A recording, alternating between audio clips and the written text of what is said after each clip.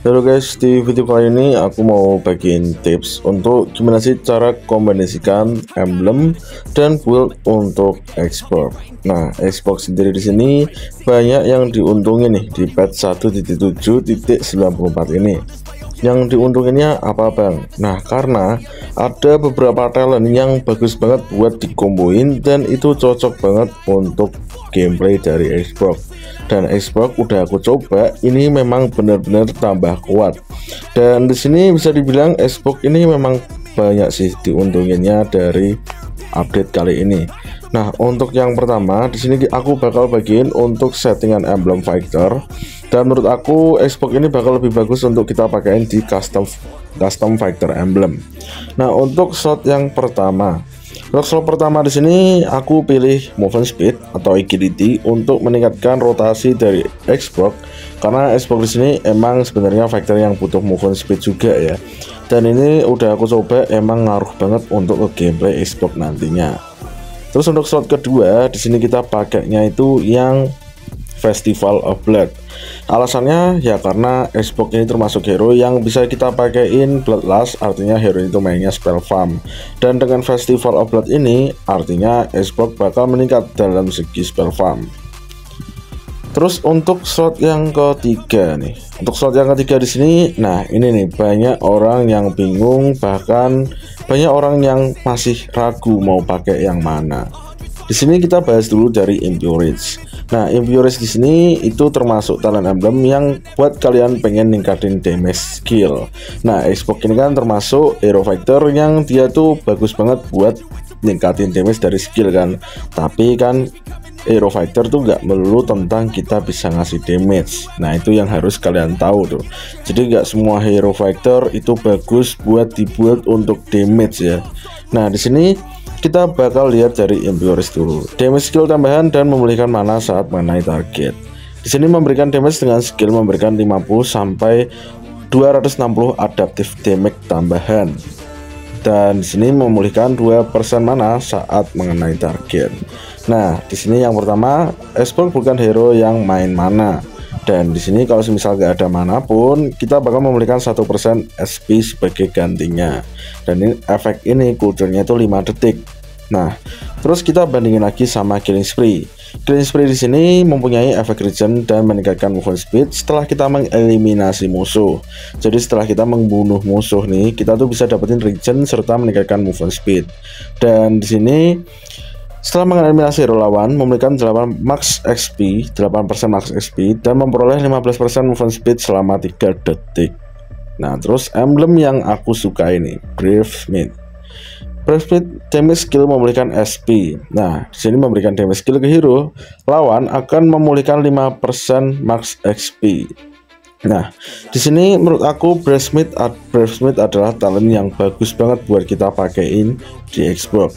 Alasannya karena dengan kita memberikan damage dan itu menggunakan skill kita tuh bisa memulihkan 5% max XP ya. Ini lumayan gede loh kalau kalian bandingin karena cooldownnya itu cuma 6 detik. Nah dan berarti setiap 6 detik itu kita bisa dapetin dua kali kan. Karena kan penggunaan pertama terus 6 detik lagi penggunaan kedua. Nah jadi kan kita bisa dapetin dua kali itu nah artinya dengan talent kombinasi talent ini expert kita tuh gak akan gampang mati. Nah, terus mana Bang yang yang bisa ningkatin damage? Nah, di sini untuk skill satu dari Xbox itu menurut aku udah cukup buat ngepres musuh. Dan kalau kalian lihat adaptif atau atribut yang kita miliki dari custom factor emblem ini itu ada adaptive attack berupa 22 adaptive attack. Ini lumayan gede loh ya. Dan di sini kalian bisa lihat dia tuh udah dapetin atribut spell farmnya tuh 10% setelah itu ada hybrid defense. Nah jadi memang kita di sini bakal didesain lebih tebal dan di sini untuk apakah talentnya itu paling bagus seperti ini bang? Nah untuk yang tebel aku rasa sih ya talent ini lebih enak buat kita pakai. Karena untuk spell farm dapat dan setiap kita tuh ngelakuin beberapa detik kita bisa dapetin XP ini kan lumayan ya. Nah, kalau untuk yang nge-damage gimana, Bang? Nah, untuk damage di sini sih aku tetap rekomendasinya buat pakai talent custom factor emblem. Alasannya karena kita dapetin atribut 10% spell farm. Nah, alasannya cuma itu sih karena memang export kan penting banget tuh untuk spell farmnya. Untuk damage kalian bisa pakai rupture. Alasannya kalian bisa dapetin adaptive penetration. Nah penetration ini itu enak banget buat ngebunuh atau ibaratnya ngehancurin defense musuh berupa physical defense. Nah dan kalau semisal ya temperatur yang kalian berikan ke musuh itu udah full artinya kalian bisa ngasih efek true damage. Yang itu menurut aku ngeganggu banget ya terutama untuk landing hero-hero yang agak susah nih landingnya lawan Xbox Terus untuk talent yang kedua, aku rasa tetap Festival Blood itu yang pertama sih. Dan hero ini memang bisa dibilang kalau pakai Festival Blood jadi kuat. Dan untuk talent yang ketiga, nah talent yang ketiga di sini mungkin pasti kalian bakal bingung nih bang, Imperius itu bagus gak sih bang?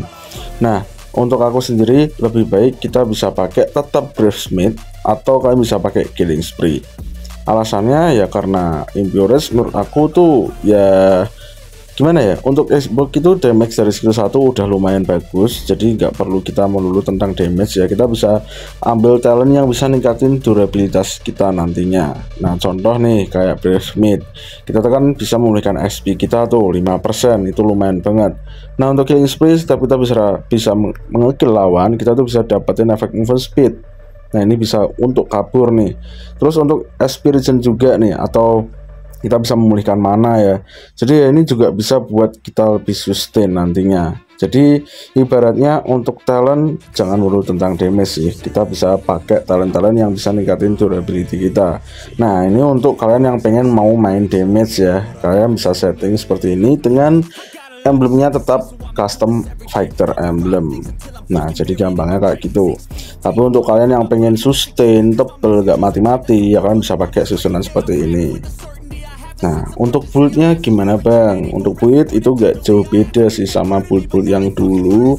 Build-build zaman purba pun aku masih pakai dan ini hasilnya masih enak ya. Jadi sepatunya kalian bisa pakai sepatu warrior boots atau top boots. Ini sesuai aja sama kondisi lane kalian.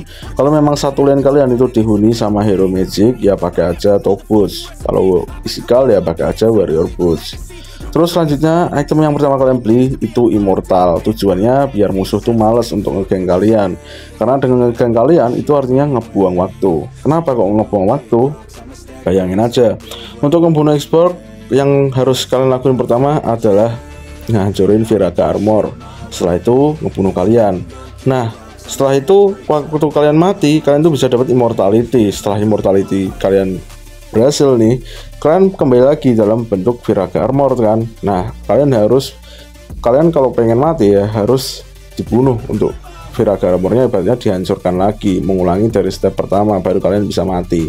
Ibaratnya kan membuang-buang waktu tuh. Nah ini lumayan banget lah immortality ini. Aku rasa Xbox pasti bakal meta sih Terus selanjutnya kalian bisa pakai Bloodlust X. Tujuan dari Bloodlust X ini sudah jelas untuk meningkatin spell farm yang ada pada skill 1 dan 2 kalian.